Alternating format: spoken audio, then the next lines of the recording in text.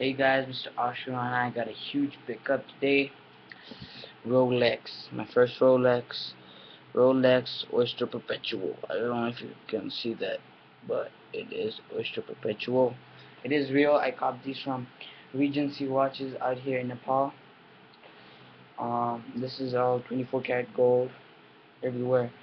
Inside you have um, you have uh, diamonds so real dope. I got this for my birthday which was recent. So here's how it looks on hand. So Oyster Perpetual you know? I have my other watch right here which is a G-Shock Gold you know? No offense but Perpetual looks way better Oopsies. And put these both on, on hand.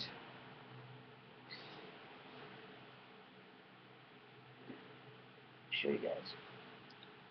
So here you have it. Which one do you think looks better? The G-Shock or the Oyster Perpetual Rolex?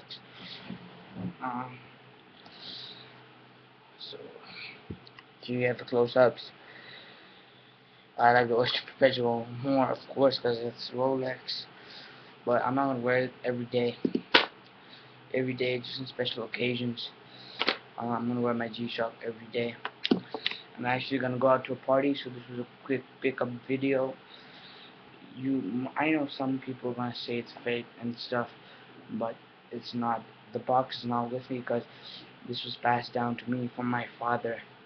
So he has the box in the other room. So yeah, this is real. Uh, real expensive, all gold with diamonds.